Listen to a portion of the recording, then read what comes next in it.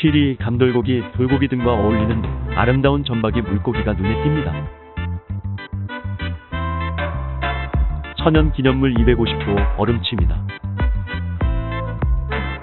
귀하디 귀한 얼음치가 한두 마리도 아니고 때를 지어 노리는 곳은 다름 아닌 금강 상류 남대천입니다. 이처럼 요즘 금강 상류의 시간은 40년 전으로 되돌려졌습니다. 비단결같이 곱고 맑은 물에 터줏대감 얼음치가 특유의 몸 빛깔을 자랑하는 그런 금강으로 되돌아가기 위한 복원 사업이 이제서야 빛을 발하고 있습니다. 시작한 지 22년 만의 일입니다. 금강의 얼음치가 살던 40년 전의 시절로 되돌아가기 위한 얼음치 복원 사업이 1999년부터 추진되고 있습니다. 국립수산과학원 중앙내수면연구소가 1999년 처음으로 얼음치 치어를 예비 방류한 것을 시작으로 2000년대 초반부터 지금까지 22년 동안 얼음치 복원 사업을 펼쳐오고 있습니다. 환경부 국립수산과학원, 문화재청, 순천향대학교, 한국민물고기 보존협회 등 여러 기관 단체가 협력하고 기업체에서도 동참하고 있습니다. 그 결과 복원 사업의 성공이 거의 눈앞에 다가옴으로써 국내 멸종위 기 어종 복원 사업의 메카로 평가받을 전망입니다. 지난 2010년 8월 20일 전북 무주군 무주읍 남대천에서 있었던 얼음치 체험 및 주요 먹이인 다슬기 방류 행사 장면입니다. 당시 방류했던 얼음치 치어입니다.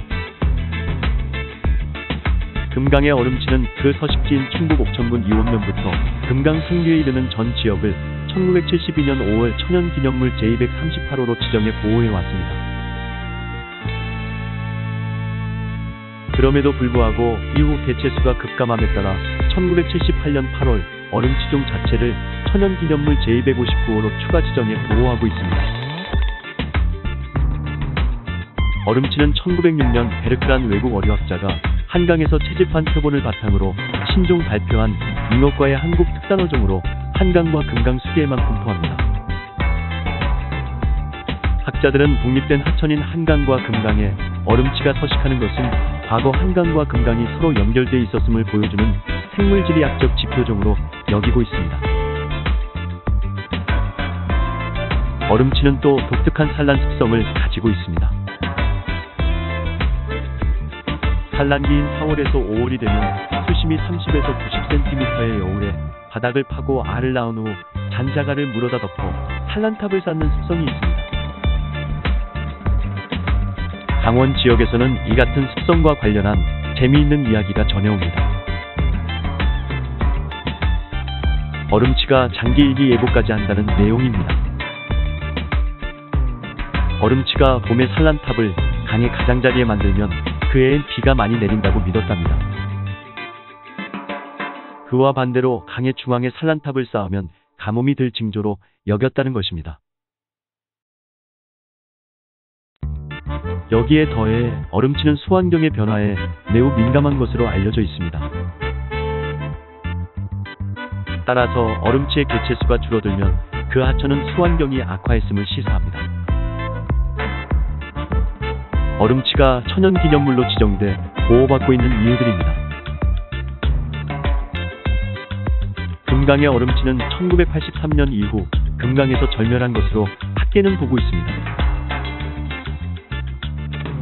하천의 건천화와 농약 고용, 서식지 파괴, 남획 등에 의해 배가 끊긴 것으로 학자들은 추정하고 있습니다. 금강 상류에서 절멸하기 이전의 얼음치는 국립중앙과학관 수장고에서나 표본으로 만나볼 수 있습니다. 바로 이 사진이 국립중앙과학관이 금강에서 얼음치가 절멸하기 전에 연구용으로 채집해 보관 중인 금강 상류의 얼음치 표본입니다.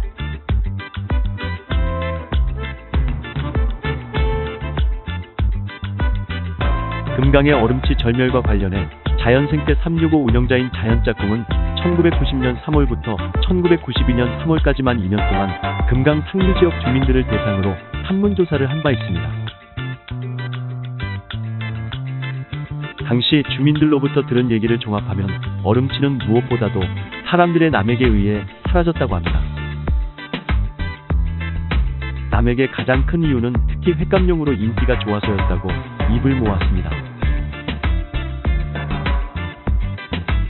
지난 2001년 충북 단양군 관내 남한강에서 촬영한 얼음치 나는 장면입니다. 당시 남한강 수계인 충북 단양 지역에서는 천연 기념물인 얼음치가 횟감용으로 버젓이 판매되고 있었습니다. 그때 남한강변의 한 횟집에서는 수족관에 20여 마리의 얼음치를 산채로 잡아놓고 횟감으로 판매하고 있었습니다. 이 횟집에서는 메뉴판에 아예 얼음치회 팝니다라고 써놓고 영업을 하고 있었습니다. 금강의 얼음치 증식 및 복원 사업은 국립수산과학원 중앙내 수면연구소가 가장 먼저 시동을 걸었습니다. 비공식적인 자체 사업으로 1998년부터 시작해 이듬해인 1999년에 치어를 예비 방류한 게 금강의 얼음치 복원 사업의 효시가 됐습니다. 이후 2001년부터 중앙내수면연구소가 공식적인 사업으로 추진해 오고 있습니다. 여기에 순천향대학교와 한국민물고기 보존협회가 주관기관으로 참여하고 있습니다.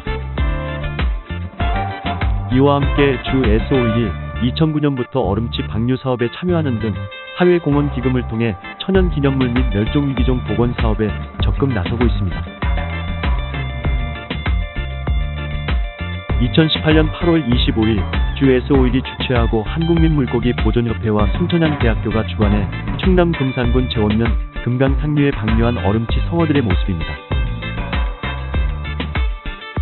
중앙내수면연구소는 2001년 얼음치 인공종자 생산 기술을 개발한 이래 지금까지 시어 방류와 모니터링을 지속적으로 이어오고 있습니다.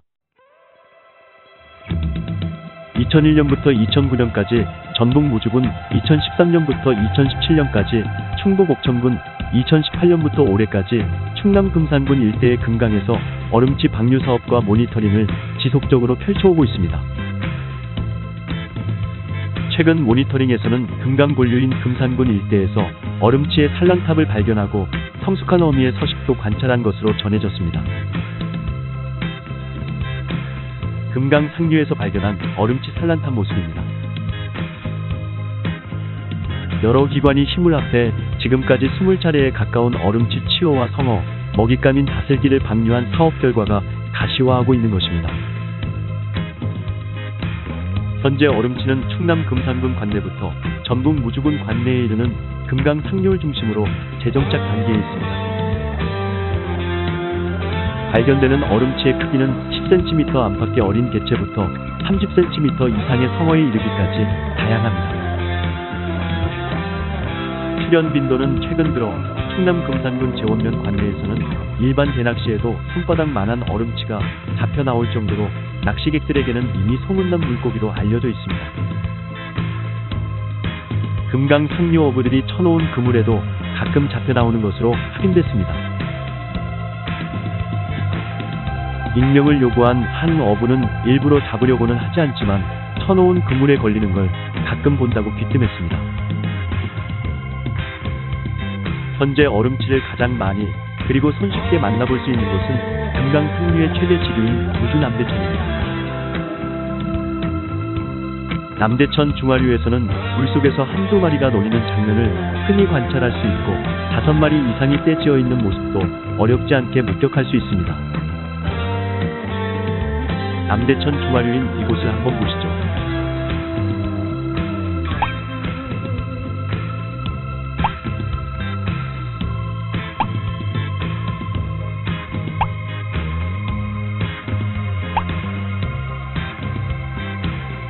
그리 넓지도 않은 수역에서 얼음치 다섯 마리가 함께 활동하고 있습니다. 이곳이 금강 상류 수역이라고는 쉽게 믿어지지 않습니다. 이런 상황을 아는 사람들은 오죽하면 얼음치가 남대천에서는 우정종이라고 할 만큼 흔한 물고기가 됐다고 우스갯소리를 할 정도입니다. 남대천에서 수중 촬영한 영상을 빠른 속도로 보겠습니다. 몸 옆면에 검은 줄과 반점, 꼬리 지느러미와 등 지느러미, 뒷 지느러미에 검은 줄무늬가 있는 게 얼음치입니다. 다른 물고기와 구별이 되나요? 아름다운 물고기들이 해지어 노는 모습이 참으로 보기 좋습니다. 다음은 전북 무주군 무주 전돌이 관내 금강 본류에서 촬영한 영상입니다. 이곳에 수심이 얕고 물흐름이 비교적 느린 수역에서도 어린 개체의 얼음치가 확인됩니다. 이렇게 금강 상류의 얼음치가 되돌아오자 벌써부터 남획을 우려하는 목소리들이 높아지고 있습니다. 애써서 돌아오게 만든 귀한 손님을 다시금 사라지지 않게 보호하는 일이 무엇보다 필요하고 시급합니다. 천연 기념물과 멸종위기 야생동물 관리 당국 및 해당 지자체를 중심으로 실질적인 보호 관리가 이루어질 수 있도록 현실에 맞는 법적, 제도적 장치를 재정비해야겠습니다. 다음은 금강의 얼음치 복원 사업의 주역을 소개합니다. 중앙내 수면연구소가 국내 처음으로 얼음치 증식 및 방류 사업을 시작할 때부터 사업에 참여해온 이완호 박사입니다. 이 박사는 현재 한국민 물고기 보존협회 회장입니다. 다음은 방인철 순천향대학교 교수와 직전 한국민물고기 보존협회장인 홍영표 박사입니다. 2018년 8월 25일 충남 금산군 재원면에서 있었던 얼음치 성어방류 행사장에 참석해 복원 사업과 관련해 의견을 나누고 있습니다. 특히 방 교수는 당시 방류한 얼음치 성어를 8년 4개월 동안 길러오는 등 금강 상류의 얼음치 복원 사업이 원활히 추진될 수 있도록 기여한 공로가 큰 것으로 평가받습니다. 시청해 주셔서 감사합니다.